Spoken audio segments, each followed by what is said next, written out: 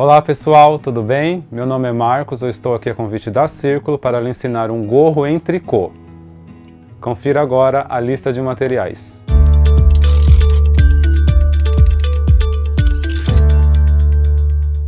Vamos precisar de dois novelos do fio Amiga, cor 448, uma agulha de tapeçaria para costuras e acabamentos, agulha de tricô 6 mm, tesoura. Então para esse gorro, que ele é tamanho único, nós vamos montar na agulha 62 pontos.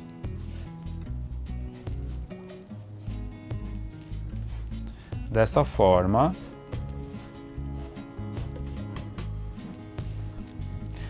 Por 62 vezes.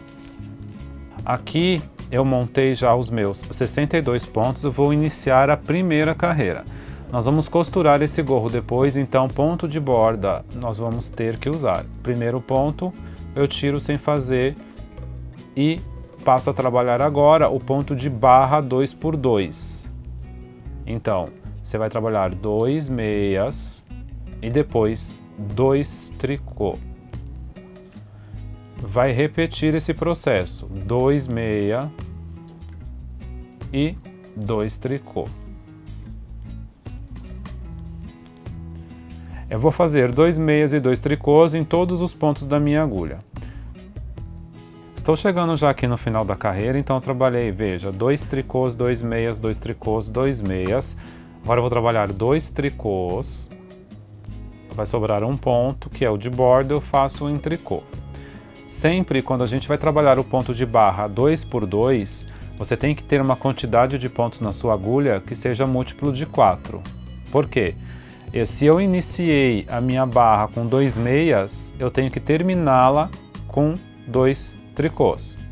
Porque na hora que eu costurar um lado com o outro, a barra dá continuidade. Então, vai acabar com dois tricôs e o próximo vai ser dois meias. Se você não colocar pontos múltiplos de 4, o que, que vai acontecer? Vai ficar dois meias aqui no início e dois meias no final. Na hora que costurar, você vai ter quatro meias e dois tricôs dois meias, dois tricôs, ok? Já terminei a primeira carreira do ponto de barra. A segunda carreira nós vamos acompanhar os pontos. O que, que isso significa? Ponto de borda eu tiro sem fazer. Veja, na carreira de baixo aparece para mim dois pontos meias. Eu vou fazer também dois pontos meia.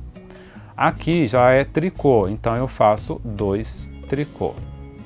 E repete, aonde for meia faz ponto meia, Aonde for ponto tricô, faça ponto tricô. Eu vou repetir isso até o final. Já estou finalizando a carreira, veja, dois tricôs e o último ponto, um tricô, que é meu ponto de borda. Vou virar para o direito e eu vou repetir a primeira e a segunda carreira até alcançar 5 centímetros. Então, trabalhei aqui, olha, os meus 5 centímetros no ponto de barra 2 por 2 então esse gorro ele fica tamanho único por conta do ponto de barra, ó, que ele tem essa elasticidade. Agora eu vou entrar aqui com o ponto fantasia do nosso gorro. Então, como que a gente começa? Ponto de borda passa sem fazer.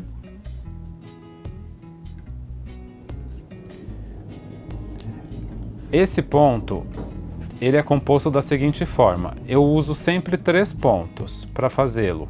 Tá? Então veja aqui, eu tenho um, dois, três. O terceiro ponto aqui, ó, que é este daqui, um, dois, três. Eu vou pegá-lo com a agulha dessa forma e vou jogar por cima desses dois pontos que estão aqui. Joga e derruba. Então a gente ficou com dois pontos só. Eu vou fazer o primeiro ponto em meia, fazer uma laçada e vou fazer mais um meia. Pronto. Voltamos a ter três pontos. Vou fazer para separar três tricôs.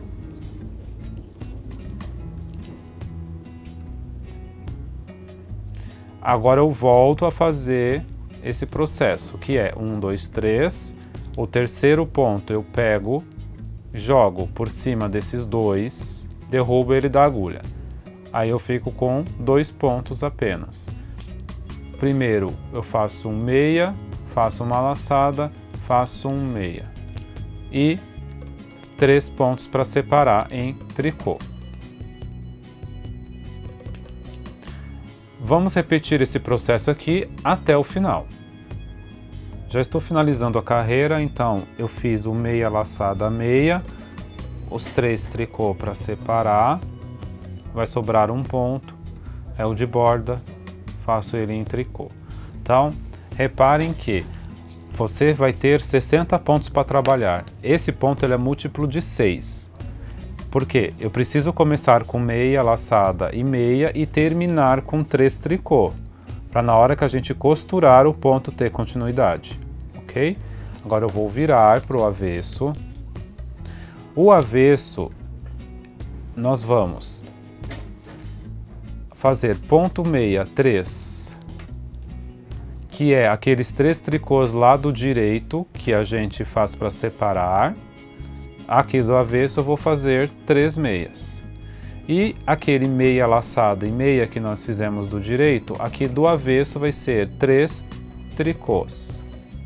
Ou seja, o avesso sempre você vai trabalhar três meias e três tricôs. Três meias e três tricôs. Eu vou repetir esse processo até o final. Agora estou na terceira carreira, pelo lado direito, primeiro ponto sem fazer. Esses três pontos eu trabalho em meia, um, dois, três. Três pontos em meia e eu permaneço sempre aqui, olha, com três tricô. Do início ao fim, o gorro vai ser sempre três tricôs, separando aqui no, o nosso ponto desenhado. Então, mais uma vez, olha, aqui é o meu ponto desenhado, três pontos. Eles aqui nessa carreira, três meias e três tricôs para separar, ok? Então, repita esse processo, três meias e três tricôs, até o final. Bom, eu repeti essas duas últimas carreiras até eu ter um, dois, três, quatro carreiras de ponto meia, ok? Reparem aqui, um, dois, três, quatro. Nesse momento, a repetição do ponto acabou.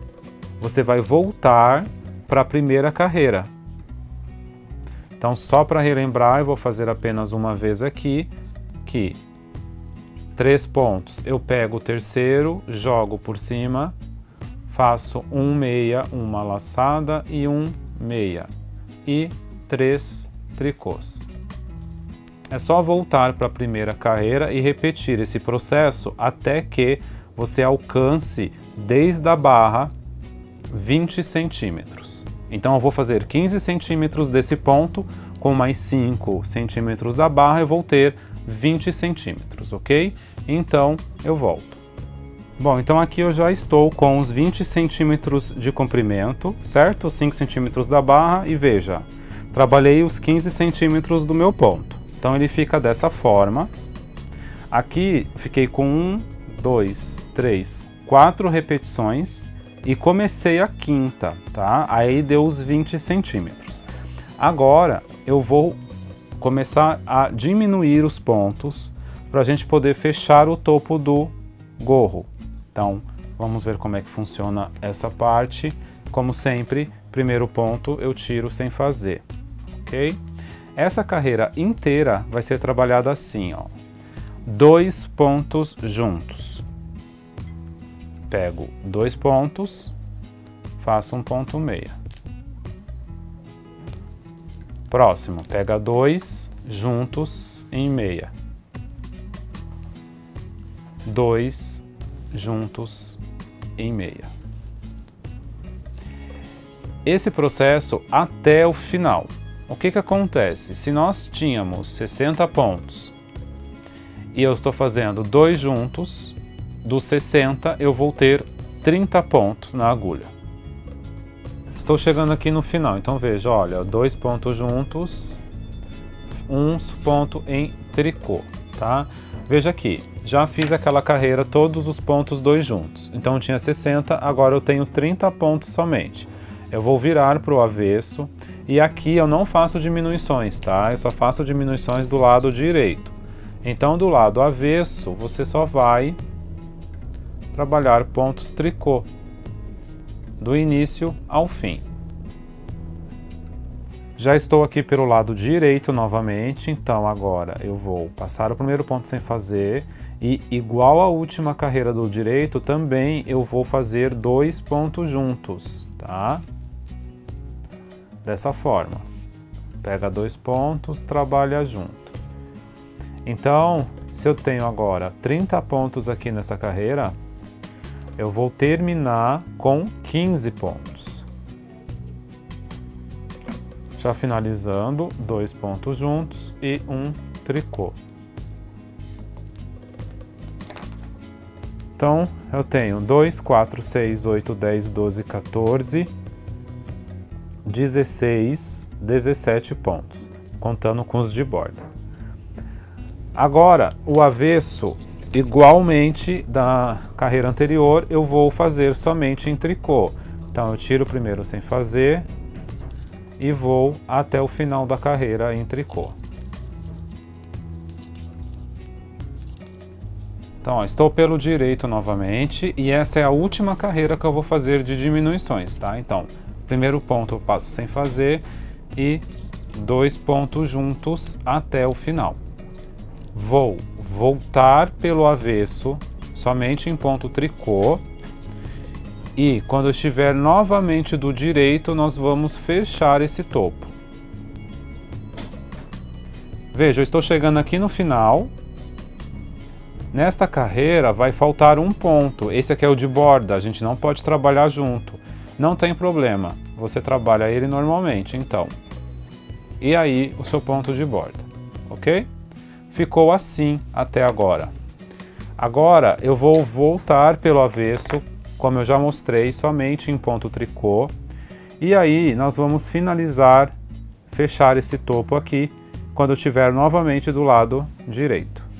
Estou aqui já, ó, novamente pelo direito. Agora eu estou com 2, 4, 6, 8, 10 pontos. Então, aqui é o topo né, do nosso gorro. Nós vamos fechar esse topo e fazer a costura das laterais. Então, para isso, eu paro um pouco aqui com o meu trabalho, corto um pedaço de fio e vou colocar na minha agulha de tapeçaria.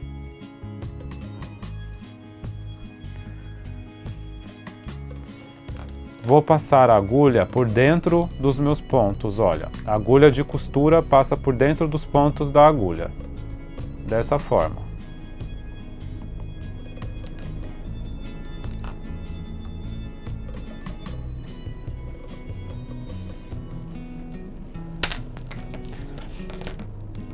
Esse é um método bem simples de fazer gorro, é um gorro bem simples, bem fácil. Então veja aqui como é que ficou, ó. Eu estou com o fio aqui dentro dele, tá? Então, o fio que, que está no novelo, se você quiser, você já pode cortar. Vamos deixar para arrematar depois.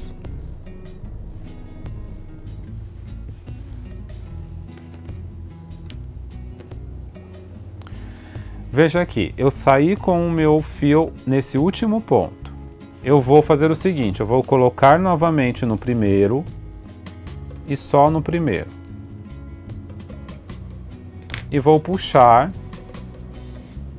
até eu fechar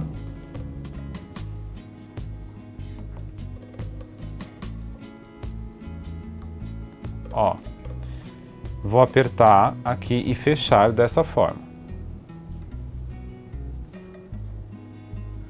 Veja como é que fica aqui o acabamento do topo. Fica dessa forma. Aí eu vou passar a agulha aqui, lá pro avesso, tá bom? Aqui. Para eu poder dar um nó para apertar tudo isso daqui. Então se você quiser, ó, nesse momento, vou dar um nó no fio que eu tinha cortado, no fio que está a minha agulha de costura. Então pode dar um nó bem apertado.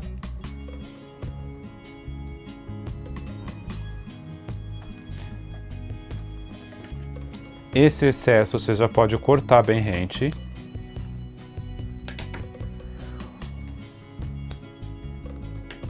esse fio que eu dei o um nó agora era o fio que eu comecei a fazer essa costura do topo. Esse fio que eu vou dar o um nó agora era o que estava vindo do novelo que eu cortei. Então, do mesmo jeito eu vou dar um nó, dois nós, aperto bem. Se quiser dar três nós também pode. E vou cortar a rente. Agora eu só estou com o fio da minha agulha. E o meu topo, veja, está fechado. Agora eu vou costurar essa lateral aqui, ó, para fechar o nosso gorro. Aquele ponto de borda, né, que a gente vem trabalhando sempre no início e no final, ele faz essas correntinhas aqui, ó, na lateral do seu trabalho. É essas correntinhas que nós vamos usar para costurar um lado com o outro. Então, dessa forma aqui.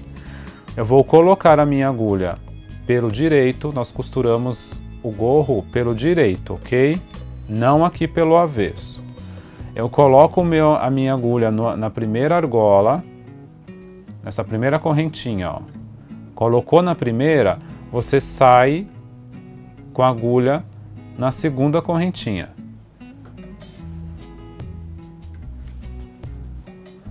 Fez isso no lado de cima, eu vou fazer a mesma coisa do lado de baixo. Coloco em uma correntinha, saio em outra correntinha. Coloco. Aí aqui eu coloco a minha agulha, olha, aonde o fio saiu da última vez. Tá vendo que ele saiu dessa correntinha? Então eu coloco a minha agulha aqui e saio na próxima correntinha. Mesmo processo para a parte de baixo.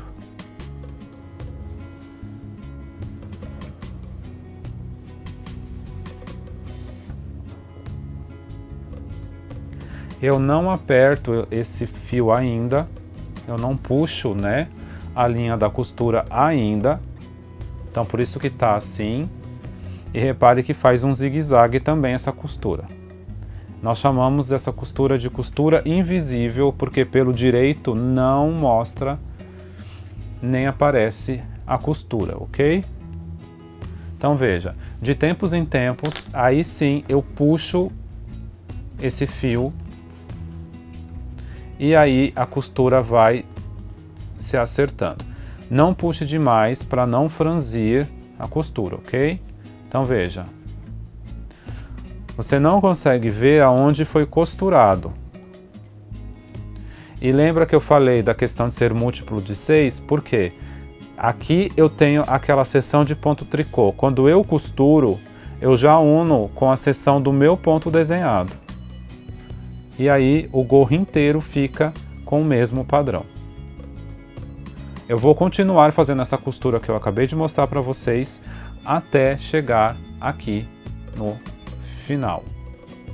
Ó, já estou chegando aqui no final, então da mesma forma continuo costurando. Aqui eu já estou na barra,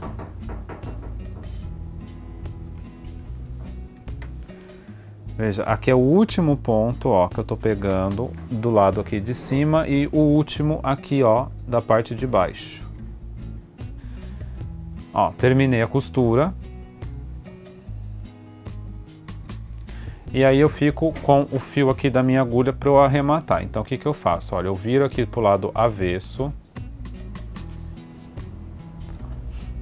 E aí eu junto aqui, ó pego, passo por dentro do excesso da costura, que ela vem toda aqui para o avesso, passo a agulha dentro dela e vou puxar. E aí eu passo mais uma vez e dou um nó. O nó eu faço assim, faço a argola desse jeito e passo a agulha dentro dessa argola duas vezes.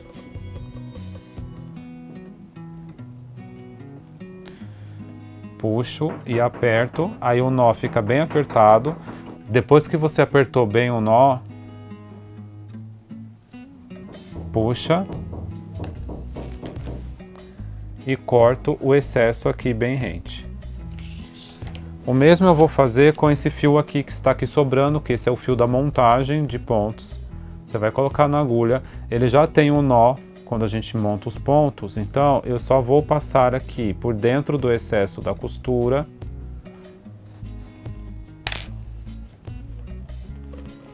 e corto aqui o excesso.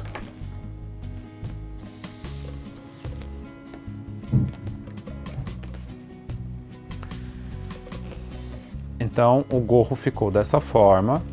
Perceba que você não consegue distinguir aonde que foi feito a costura do gorro. Aqui é o topo.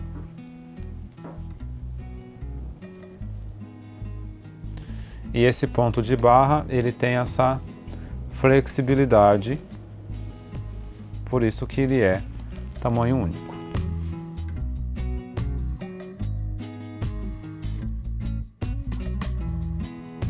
E aí pessoal, gostaram? Não se esqueçam de compartilhar as suas criações usando a hashtag Sempre Círculo, siga Círculo em suas redes sociais. E é isso, um abraço e até a próxima. Bom tricô!